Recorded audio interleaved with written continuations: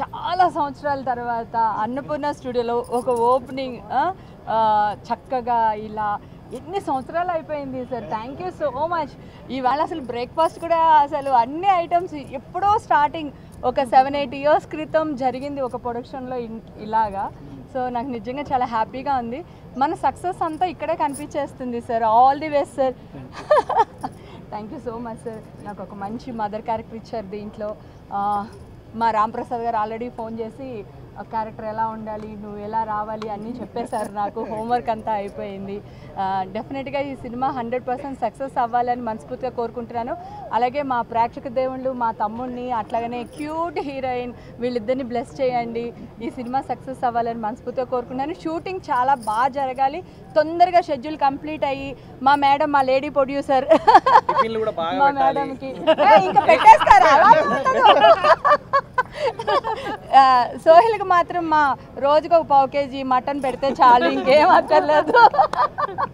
ఎప్పుడైనా సరే సోహిల్ గురించి చెప్పాలంటే మటన్ మటన్ చికెన్ చికెన్ అంటే అందరు గుర్తుపెట్టేస్తారు సో అందుకని మేడం ఆల్ ది బెస్ట్ మీకు. డెఫినెట్గా ఇంత పాజిటివ్ ఎనర్జీతో మన సినిమా స్టార్ట్ చేస్తున్నాం ఈరోజు డెఫినెట్గా సక్సెస్ అవుతుంది. All the best. People they are encouraging you after this film Okay, so right now I feel very blessed, very grateful.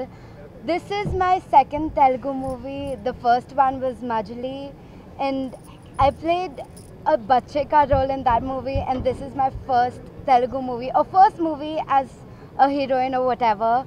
And I feel very blessed. Thank you so much, sir. Thank you so much, ma'am. And yeah, thank you. అందరికీ నమస్కారం ఈరోజు కృష్ణారెడ్డి గారి కొత్త cinema start అయింది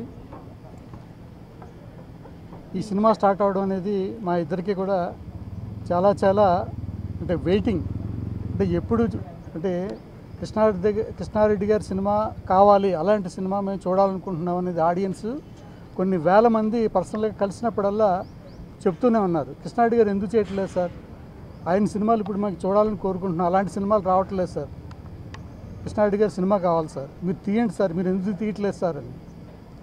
సరే కృష్ణారెడ్డి గారు కూడా అంతకు మించిన జోష్లో ఉన్నారు. ఎందుకంటే ప్రేక్షకులకి అందించాలనే తపన ఉంది.